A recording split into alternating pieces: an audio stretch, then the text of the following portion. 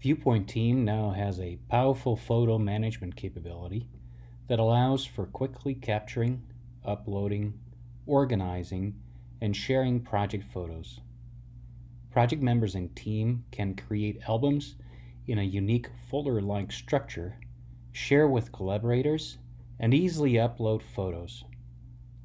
Uploaded photos can be previewed and edited as required before sharing.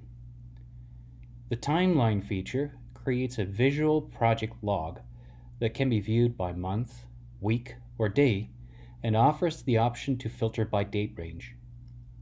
When viewing photos in full screen, metadata is displayed, including GPS information. Descriptions can be copied from previous photos for fast creation of logs. Photos are available in Team for mobile too.